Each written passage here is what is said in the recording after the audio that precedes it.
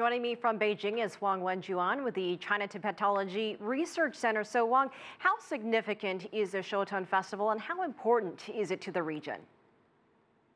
Actually, the festival has involved lots of the activities. Some are traditional activities, some is new development activity. For example, the picture just mentioned about uh, the unfolding tanka, the huge tanka, also Tibetan opera racing. Of course, now we have uh, many new activities like the uh, trade fair and like the cooperation uh, signing. So those are all the activities involved in too. And for this uh, festival actually is very important for Tibetan themselves. First of all, for the festival itself, actually, it's a, a, preservation of the traditional culture since this festival started from the 11th century. Uh, so so this, for example, last year I participated the uh, Tanka uh, Forum, which uh, many of the Tanka painters from the com rural community gathered together to share experience how to preserve their culture.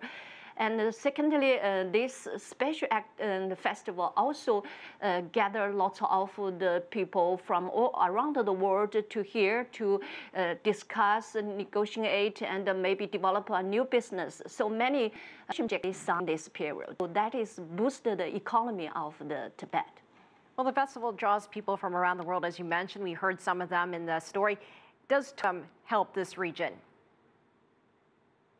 Uh, I can't hear you, sorry. Say again. Does, does tourism help this region?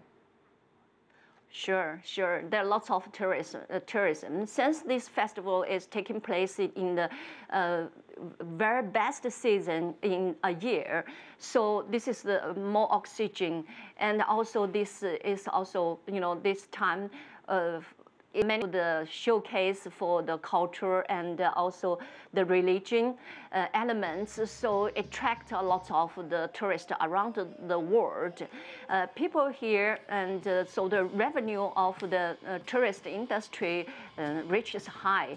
And uh, also, you know, you know, TLR refuse any other industry which uh, might uh, have a potential damage for the environment.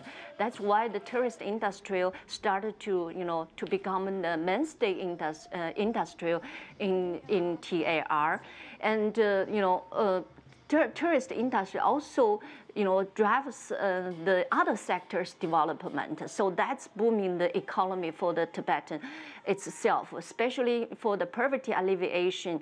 You see the tourist industry bring, bring lots of employment, uh, bring the development of catering, industrial, transportation, etc. So people start to, you know, uh, join this uh, industrial and then make the, uh, the income. So the whole uh, region's economy become uh, better and better, and the livelihood of the community uh, started cha- changed. So, for example, many of the countryside they set up the uh, homestay in the hotel, and so people directly involved into this. Uh, part of the industry. Certainly looked beautiful. Huang Wenjuan, thank you for joining us from Beijing.